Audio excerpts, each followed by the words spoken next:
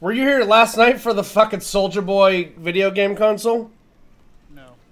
Oh yeah, that's a thing too. Soulja Boy basically came out with a handheld emulator that's gonna have Nintendo games on it, and if he doesn't think Nintendo ain't gonna slap his dick right off his fucking pelvis, he's mistaken.